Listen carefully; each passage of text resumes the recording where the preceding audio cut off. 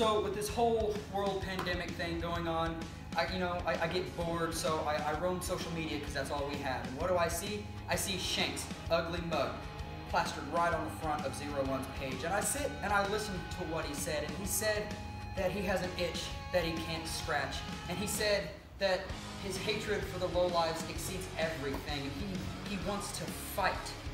He wants to fight. Well, I have an answer for that. Shank, this is where it began. This is where we train. This is our training ground. If you want to fight, then you meet me here. We don't need a crowd. We don't need lights. We don't need them. And we don't need the lowlights. Just you and me. Right here. Where it began, this is where it ends.